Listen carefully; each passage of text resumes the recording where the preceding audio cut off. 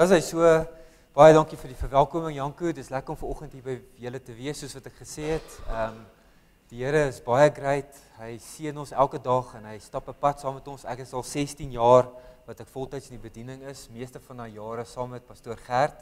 Hulle is goeie vriende van ons en ehm um, heidaglik is ek besig met 'n bediening of eintlik al my jare was ek besig geweest met in bedieningswerk om mense te help om vry te kom van verskillende tipe verslawings. En ehm um, En vanoggend is die die titel of die tema waaroor ek bietjie met julle wil gesels gaan oor heerskappy. So heerskappy. Nou vanoggend soos wat nou maar is voordat 'n mens begin preek en 'n in 'n boodskap wil bring, dan hoor ek net al hierdie ruler heerskappy woorde. Ehm um, jy weet Janko het nog sê Here help ons om heerskappy te kan beleef en in al die alles vir my gaan net oor heerskappy. Dit is soos asof my oë oop gaan en ek weet God het 'n plan met dit wat hy ver oggend vir julle wil bring. So ek het so so in hierdie week wat verby is, het ek hierdie hierdie uh, storieetjie gehoor. Ek moet seker wegbly van die van die speaker af of wat weet nie. OK. Dis hy. Dis dit hier. Bietjie hoor, OK. Is dit beter?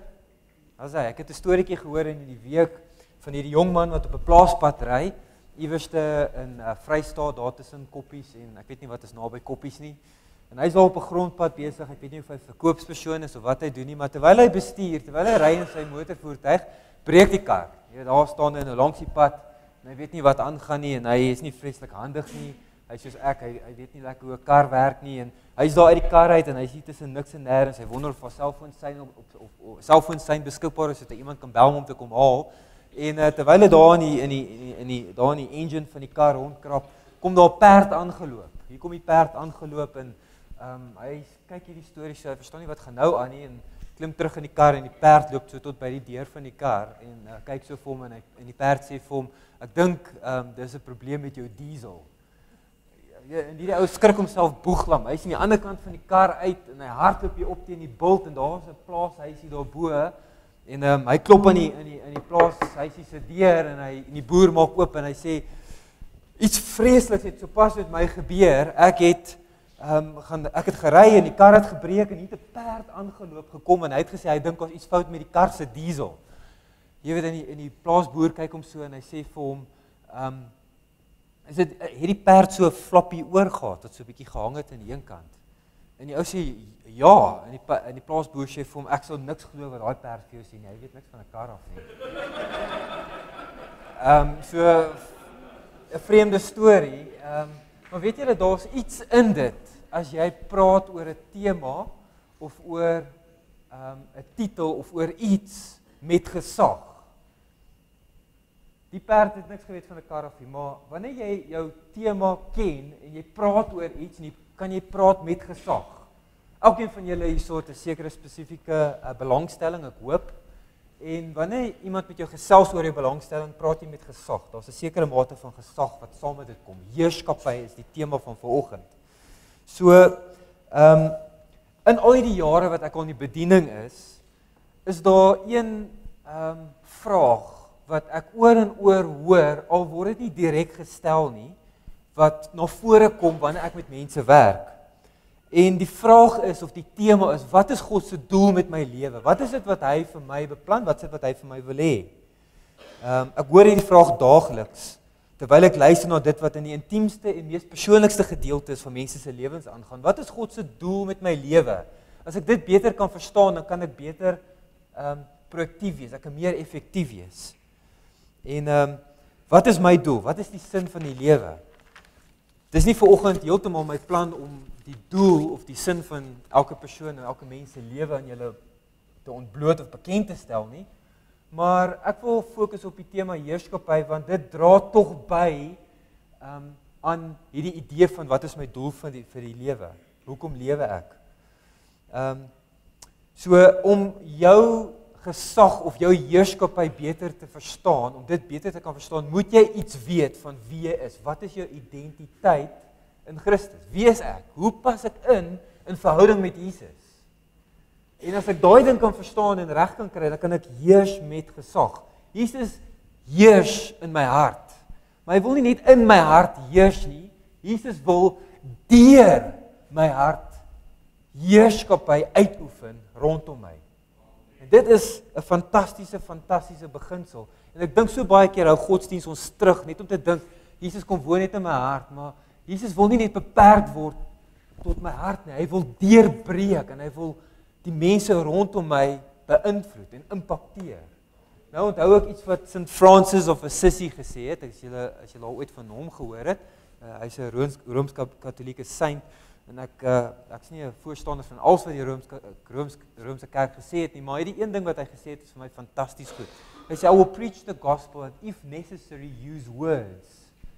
So ons kan die evangelie van God verkondig met 'n mate van heerskappy as ons in verhouding met God leef en as ons toelaat dat hy deur ons heers. Nou Genesis 1 is waar die konsep van heerskappy die eerste keer aan ons bekend gestel word. In Genesis 1 praat hy van 'n paar dinge. Um, ek lees vir julle gou-gou van vers 26 af. Hy sê, "When God said, let us make mankind in our image." Ons is in die beeld van God gemaak in our likeness. Um, ons is in sy gelykenis gemaak. En as jy afgaan na vers 28 toe sê hy God blessed them and said to them be fruitful increase in number fill the earth and subdue it rule over the fish of the sea heerskappy God het vir ons drie dinge gegee. Hy het ons gemaak na sy beeld hy het ons gemaak in sy gelykenis en hy het ons bemagtig om te kan heers om te kan rule ons is veronderstel om te heers oor skepping en oor elke gedeelte van ons lewens. Wees vrugbaar, bewoon en bewerk die skepping en heers dan daaroor. Jou lewensdoel kan die beste verstaan word in lig van jou gesag en dit wat God jou geroep het om oor te heers. Ons moet verstaan dat die aarde en die wêreld is geskep vir ons om oor te heers. Al daai uitdagings, al daai moeilike goedjies, daai ehm um, daai goed wat mense irriteer, die dinge wat moeilik gaan, is ons verstaan oor te heers. Nie net Jesus in ons harte hou nie, maar heerskappy en gesag oor dit uit te oefen. Heerskappy in hierdie wêreld is deel van jou erfenis. Dis God se plan van jou om te rule en te heers. So nou dink ek gou-gou 'n voorbeeld. Ehm um, so tydjie gelede my vroutjie sal onthou, is ons besig om te werk ehm um, by 'n sentrum daar naby die Hasie Park.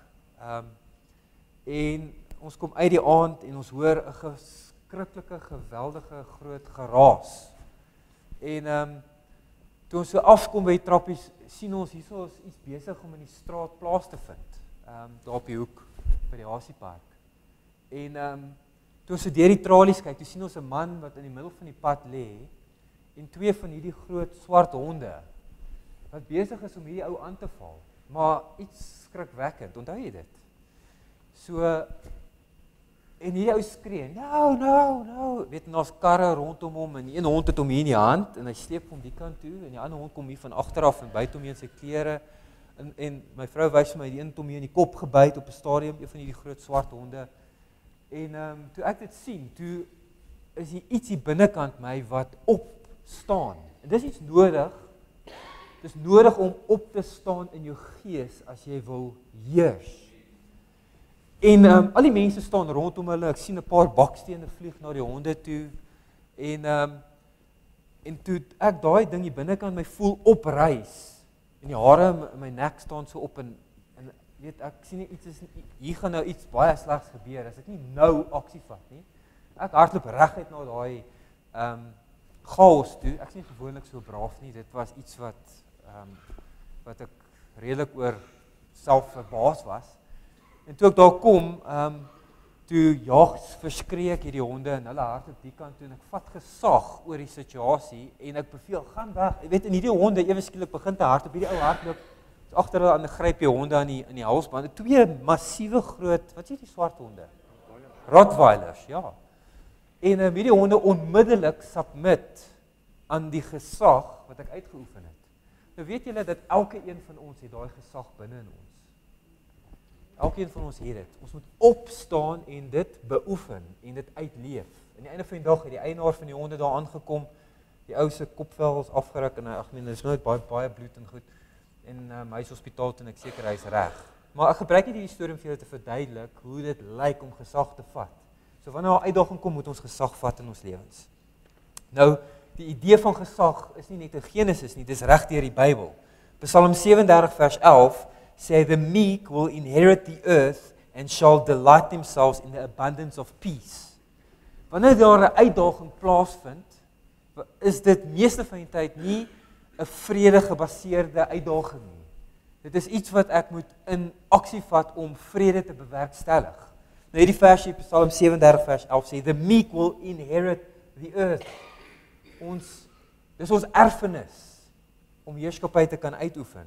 Dan is daar 'n oulike stukkie wat sê meekness is not weakness om meek te wees is nie om 'n swakheid te hê nie. Dit is om te weet wat my posisie is en wat my plek is. Meekness is not weakness but power under perfect control. God se gesag en sy krag in die regte mate op die regte tyd vir die regte geleentheid. Power under perfect control. God sê ek het hierdie aarde vir jou gemaak as jou erfenis. Daar moet vrede wees. Jy moet daaroor eienaarskap neem Neem jou erfenis in besit. Lewe met gesag. Voluit vorentoe elke liewe dag. Dis wat God van ons wil hê. Dis wat heerskappy van ons verwag. The righteous the righteous shall inherit the earth and dwell in it forever. Matteus 5 praat baie dinge, dis die bergrede. Um introduction to the sermon of the mount. Now when Jesus saw the crowds, he went up on a mountainside and sat down his disciples came to him and he began to teach them the Beatitudes. He said, Blessed are the poor in spirit, for theirs is the kingdom of heaven. Die koninkryk van God behoort aan die wat poor in spirit, wat meekness verstaan, wat nederigheid verstaan, wat hulle posisie en hulle plek verstaan. Blessed are those who mourn, for they will be comforted. Blessed are the meek, for they will inherit the earth. Weer eens. Heerskappy en erfenis is ons deel. En dan Psalm 115 sê the heavens are the Lord's but the earth he has the earth realm he has given to the children of man. Die hemele ons kan niks doen om die hemele te verander nie. Dis die plek waar God woon, dis waar hy is. Maar hierdie wêreld het God aan sy kinders gegee om heerskappy oor uit te oefen.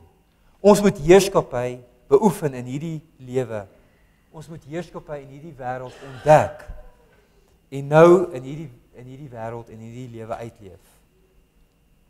Nou, ehm um, so rukkie terug, ons het ons het sulke sulke banke en op 'n stadium ehm um, het ek besluit ek gaan die bank afval en 'n bietjie skoonmaak daaronder en uh, terwyl ek daar krap, kry ek so ronde silwer ehm um, munt. Ehm um, wat daar ingeval het. Dit is 'n R2 muntstuk geweest. En hy het daar onder die bank weggeraak al vir baie jare en ek dink daar was coke en koeldrank en allerlei goed wat die 2-jarige seentjie daar ingemors het ook al en alsin bietjie skoon gemaak maar toe ek die 2 rand so vat sien ek hy's so bietjie taaierig en daar's sulke hare en sulke goeters op hom bietjie gegroei al in ehm um, weet ek kan vir my hoed op sit die 2 rand minste ehm um, jy weet my lê daar diep onder in die bank jy weet en dan sê dit soos wow hier's 'n 2 rand weet julle dat die 2 rand se waarde absoluut in geen manier afgeneem het nie. Sy waarde is nog steeds dieselfde. Hy's net bietjie vuil en as jy hom onder in warm water sit en jy vryf hom so bietjie, dan raak hy weer skoon. Die effek wat sonde op ons lewe het, ehm um, het absoluut niks uit te waai met ons waarde en ons vermoë om gesag te beoefen nie. Jou waarde is presies dieselfde. Jy het God se beeld op jou wat op jou gedruk is. Daai Genesis versies. Dis in sy beeld, sy gelykenis en met heerskappy gemaak. Sonde verdor so bietjie ons visie. Ons kom nie agter hoeveel heerskappy en gesag ons werklik het in ons lewens nie. Jy verstaan wat ek sê? So die twee rand is maar net 'n vergelykenis met al hierdie dinge wat in ons lewens gebeur, al die goeders wat op ons geplak word, alles wat ons doen wat ons laat skuldig voel en wat ons vrymoedigheid steel om na Jesus toe te gaan en na God toe te gaan waar ons ons gesag kry om dit uit te oefen. Sonder dit nie die vermoë om die beeld, die gees, die heerskappy van God uit ons lewe uit te wis nie. Dit verblind ons wel van die realiteit dat ons rulers of regerders of konings is wat moet heers in hierdie lewe. Christus aan die kruis het hierdie realiteit vir ons geëien. Dis waaroor ver oggend gaan. Toe Jesus gesterf het, het die voorhangsel van die tempel geskeur. Daai ding hoor ek was baie voete hoog geweest van bo na onder. God het 'n pad oopgemaak vir ons om met groot vrymoedigheid in die troonkamer van die Here in te gaan om gesag te kry. Hoe sê daai versie? We can approach the throne of grace with boldness to obtain grace and mercy in the time of need. Wanneer daar 'n ge geleentheid is om 'n behoefte aan te bespreek, aan te spreek, kan ons na God toe gaan en genade en guns kry om te heers. Tog in hierdie lewe het die meeste van ons en ek sluit myself in is die meeste van ons soos baie keer so slawe wat uitgewerp is.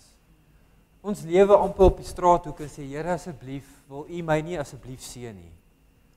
Ehm um, weet julle toe Moses by die punt van die Rooi See gekom het met die Israel ag die Israeliete, die Egiptenare agter hom aan en met Israel hier by hom, het hy gesê Here, wat nou? Ons gaan nou doodgaan. Hier is die see, ons gaan nou almal verdrink. En God het vir hom gesê: "Vat jou staf en split die see, maak die see oop, divide the waters. Moses moes dit doen. Gaan lees jou Bybel. Hy moes gesag beoefen en sy posisie vat en die volk lei in gesag deur die Rooi See, die Rooi See, ek weet nie wat dit was nie. Gaan kyk 'n bietjie. En baie keer is ons nie ook in daai selfde posisie nie, waar ons veronderstel is om 'n woord te spreek en die antwoord moet praat in plaas van om 'n arme ek bedel mentaliteit te hê en ek praat my met myself meer as met julle miskien te sê Here nou staan ek op hierdie ding wat binnekant my moet opreis wat my moet laat voel dis tyd om iets te sê en iets anders te moet gebeur. Ons moet dit weer doen ons moet daai gedeelte van ons gees um access ons moet dit bereik en van daar van daardie plek af uit lewe Die waarheid is dat ons volkome aanvaar is by God. Ons kan enige tyd in sy teenwoordigheid ingaan. Elkeen wat hier sit, het direkte toegang tot die ultimate authority, die hoogste gesag wat daar is, die skepper van die hemel en die aarde. Ehm um, weet jy, hy praat in die Bybel of ons noem dit die wêreld waarin ons bestaan, noem ons universe. Het jy al daai woordjie gehoor, universe? Nou as jy gaan kyk na die betekenis van universe, uni uno, soos 'n kaart die karretjie Uno 1 en verse uh, an arrangement of words. God het hierdie hele wêreld geskape met een one arrangement of words. Let it be. En ons is in sy beeld en in sy gelykenis gemaak om te heers. Met ander woorde, ons kan 'n impak in hierdie wêreld hê he, deur te praat. En dis wat moet gebeur.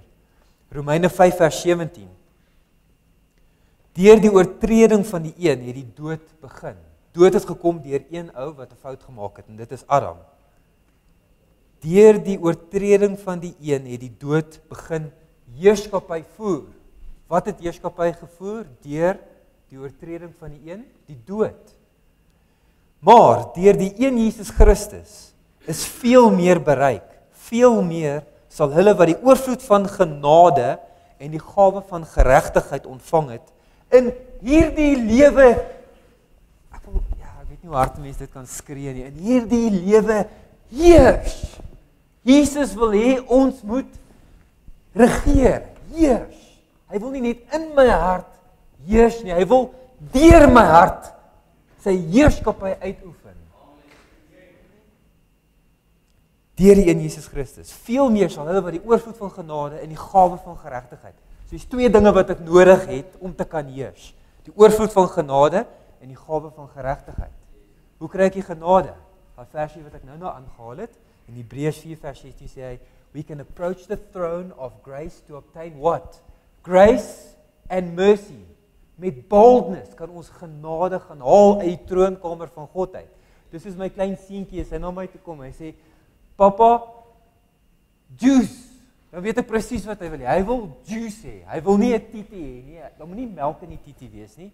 Daar moet geel koeldrank in daai titi wees. En dit kan 3 uur in die oggend gebeur. Weet presies wat hy wil hê. Weet julle, wanneer ek in die troonkamer van God instap, ek sê, Here, ek wil genade hê, weet God presies wat dit is wat jy wil hê en hy maak dit vir jou bekend. Genade en geregtigheid. Hoe kry ek geregtigheid? Geregtigheid beteken net om reg met God te wees. Die feit dat ek met vrymoedigheid in sy troonkamer kan ingaan, is my geregtigheid. En dan sê hy ons sal heers deur hierdie een Jesus Christus in hierdie lewe heers. Wie wil heers in hierdie lewe? Is enigiemand in hierdie plek? Wie wil meer heers in hierdie lewe? So ander hande wat gaan opgaan. Ons grootste probleem is godsdiens. Godsdiens is 'n vorm. Hy praat van ons kan 'n vorm van godsdiens hê, maar nie die krag daarvan ken nie. Vorm godsdiens. En weet julle in hierdie uh, spesifieke konteks wil ek sê dat ehm um, Die probleem met godsdiens is dat ons dit ons baie keer oortuig dat ek eendag hierdie dinge kan hê. Eendag as ek in die hemel kom, dan sal ek heers. Wel ek het dalk nuus vir jou, ek weet nie of daar so baie is om oor te heers in die hemel nie. Ons moet ons heerskappy nou hier vandag in hierdie oomblik, elke liewe oomblik van die dag beoefen. Dis waaroor dit gaan. Eendag, eendag in die hemel, lank van nou af, oor 'n jaar van nou af. Ag man, môre pastoor ken dit bietjie later vanmiddag sal ek heers oor 'n week of 2. Nou is wat die Bybel sê. Die tyd is nou. Gunstige tyd vir God is vandag. Christ is our new day. Onthou ek nou net, dis my vorige preek wat ek hier gesels het. God het vir ons nou 'n geleentheid gegee om te heers. Dan wil ek gaan gou-gou na Kolossense 1 vers 5. Colossians 1 verse 5 heaven, the spiritual realm, is the limitless reservoir of your expectation. So dit wat jy verwag, dit wat jy wil beoefen en dit wat jy wil bekom in hierdie lewe kom uit die spiritual realm, the limitless reservoir of your expectation. Kom uit die geeswêreld uit. God het alles vir jou bekend gemaak. Hy het in jou hart gepraat dit wat jy veronderstel is om oor te heers en wat jy veronderstel is om in hierdie lewe te moet bereik. The announcement of the goodness of God is not far-fetched or too good to be true. As jy mooi geluister het na wat ek vir jou vertel en verkondig vanoggend, is dit goeie nuus. Ek kan heers in hierdie lewe. The word you heard is absolutely true. Colossians 1:10. Go on a walkabout tour to explore the extent of the land that is yours under his lordship, under his rulership. Onder sy heerskappy sê die die die skrif hier vir ons. Gaan bietjie op 'n toer en kyk hoeveel jy in hierdie lewe kan bekom en oor hoeveel jy kan heers onder sy gesag, in sy heerskappy. Now you can conduct yourselves appropriately towards him. Ja Here, nou weet ek dat ek veronderstel is om mense na U toe te lei. Ek veronderstel my hande op siekes te kan sit en hulle in 'n woord van genesing te spreek en 'n wonderwerk te kan sien. Ek veronderstel om my gesin uh, 'n gemaklike en 'n vriendelike en 'n liefdevolle omgewing te kan skep. Nou, ek het bietjie gaan loop en gaan kyk op my toer wat dit is wat U wil hê ek moet oorheers. En dan sê pleasing him in every harvest of good works that you bear. So as ons voortbring, dan is God bly vir ons. Meanwhile you continue to increase in your intimate acquaintance with God. Met die outeer van gesag, autoriteit, outeer as ons 'n verhouding, intimate acquaintance het met die outeer van gesag, van autoriteit, dan gaan ons kan beter heers. This results in the most attractive and fulfilled life possible. Net daai stukkie. This will result in the most attractive and fulfilled life possible. Wie wil 'n very attractive life hê? Wie wil 'n fulfilled, the most fulfilled life possible bekom? Het julle geweet dat Jesus sê in Johannes 10 vers 10 dat ek het gekom om vir jou lewe te gee en lewe in oorvloed. Wie van julle weet dat jy nie jou lewe in oorvloed kan bekom as jy nie heerskappy uitoefen nie. As jy dit nie gaan vat nie, gaan jy dit nie kry nie. You are empowered. Jy is bemagtig, sê vers 11 in the dynamic of God's strength. Nie jou eie krag nie. Wanneer ek sê dit sal so wees, is ek praat ek met bemagtiging van die outeer van gesag af. His mind is made up about you. He enables you to be strong in endurance and steadfastness with joy. He rescued us from the claim of darkness and ignorance and transferred us into the kingdom where the love of his son rules. Heerskappy. Everything that is begins in him. Whether in the heavenly realm or upon the earth, visible or invisible, every order of justice. Nou gaan maar net aan om te praat van al die dinge waar wat onder hom is. Vers 21 Your indifferent mindset alienated you from God in a lifestyle of annoyances. Nou kyk gou hierso. Nou gaan ons net gou terug. Hy sê hy sê the most attractive and fulfilled life is possible for you. The most attractive and fulfilled life. Die teenoorgestelde van dit praat in vers 21. A lifestyle of annoyances. Is daar goeders wat jou annoy, wat jou irriteer, wat jou frustreer in jou lewe? Dis die dinge waaroor ek moet heers. Hardships. Weet hardships. Ons almal het hardships. Geleentheid om te heers. And labors. Hard werk om iets te bekom. Nog 'n geleentheid om te kan heers. Yet he has now fully reconciled and restored you to your original design. En dan hoofstuk 3. Nou hier is wat ons moet doen. Pursue with diligence the consequences of your co-inclusion with Christ. Ek hoef amper nie te preek nie, die skrif die skrif praat dit so mooi. Pursue with diligence the consequences of your co-inclusion with Christ. Relocate yourself mentally.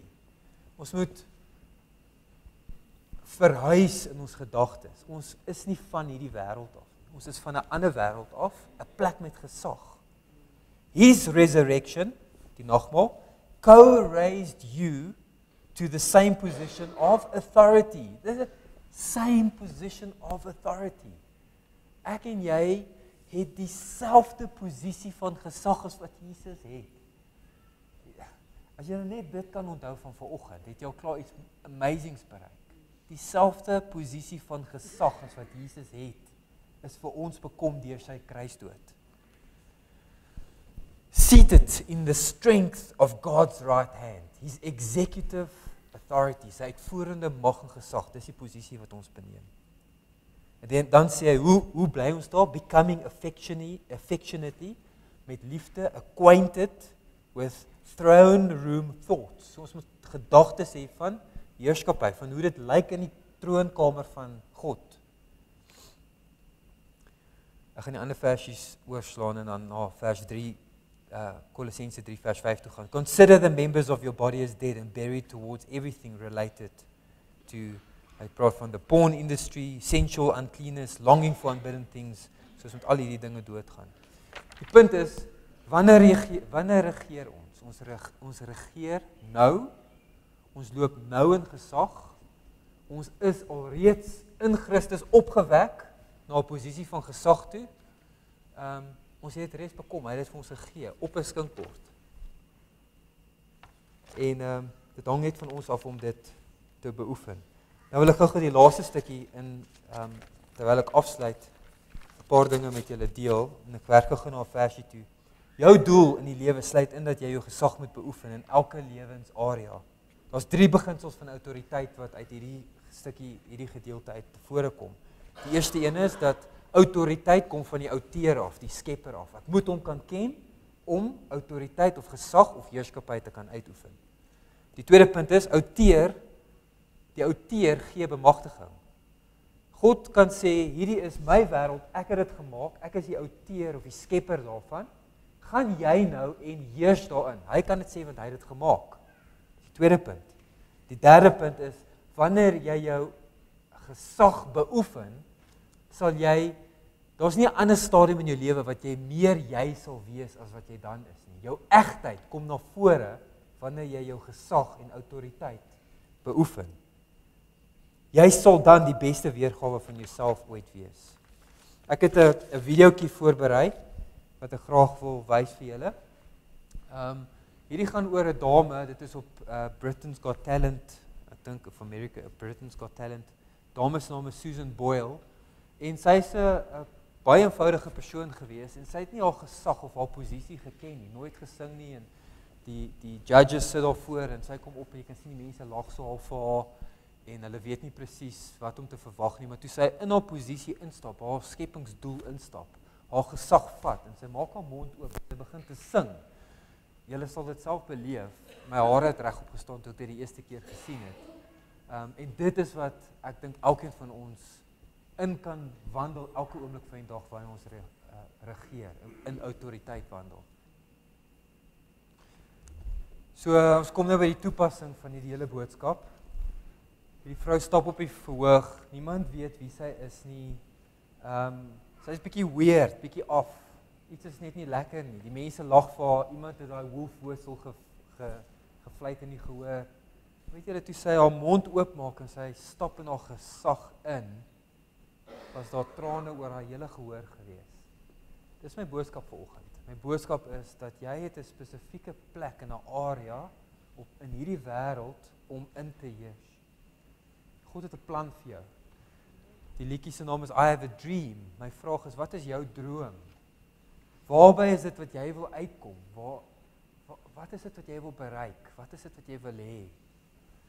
Ehm um, die toepassing van vanoggend is ehm um, ons moet dit vervang wat tydelik is met dit wat ewig is. Miskien eh, kan jy identifiseer met enige een van hierdie. Moses was 'n moordenaar, maar net tydelik. Rachel was 'n prostituut, maar dit was net tydelik. Sy was ingesluit in die nageslagte van Jesus. Gideon was 'n lafaard, maar dit was net tydelik. Saulus was 'n moordenaar. Of weet julle weer eens, was dit net tydelik.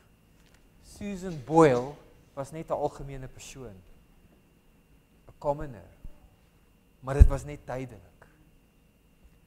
En nou op hierdie oomblik vertrou ek die Here vir 'n geleentheid vir elke persoon hierso om dit wat ewig is te verruil vir dit wat tydelik is. Miskien is jy arm. Dis net tydelik. Miskien is jy siek. Weet dit is net tydelik. Miskien is jy alleen of eensaam. Dis tydelik. Miskien is jy vasgevang in 'n verslawing of in iets. Weereens, dis tydelik. As jy siek is, jy verlore. Wat is jou toestand vandag? Wat is dit wat jy wil hê van God af? Wat is wat is gebreek wat jy vir hom wil gee in ruil vir sy gesag en sy antwoord? Um Kan ek julle almal gou-gou as gemeente vra om op te staan? Ek weet nie of hier enigiemand is met wie die woord vanoggend praat nie. Maar as jy een persoon is of dalk 'n paar mense is met wie hierdie woord praat en jy voel jy het iets wat jy in die troonkamer van God mee wil ingaan in 'n ruil vir sy gesag en sy vermoëns en vir alles wat hy is, dan is hierdie jou geleentheid. Nie môre nie, nie volgende week nie, vandag.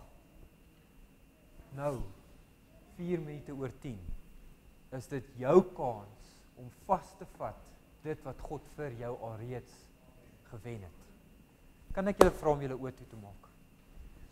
Here, ek weet dat in hierdie gemeente op hierdie oomblik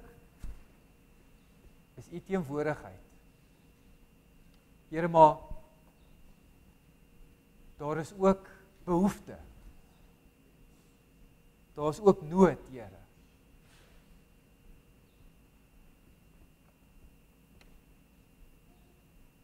En Here, ek wil bid dat 'n verruiling sal plaasvind, soos wat U al reeds gedoen het. Dit wat U al reeds vir ons gekoop het en gegee het, dat dit sal verander. Dat ons dit sal besit dat ons ons stikkenheid vir u sal gee in ruil vir u volheid dat ons ons verlorenheid vir u sal gee in ruil vir u redding. Here in hierdie oomblik weet ek dat wonderwerke kan plaasvind. Dat iemand wat siek is hulle siekte vir u sal gee in ruil vir u genesing Here. Ek bid Here dat u salwing magtig in hierdie gebou sal binne stroom. Dat u voorsiening oorvloedig sal wees soos die oorvloed van genade is dat u finansiëel sal voorsien. Dat u 'n uitkoms sal gee. Dankie Here vir u redding en u getrouheid. In Jesus naam. En ons almal sê amen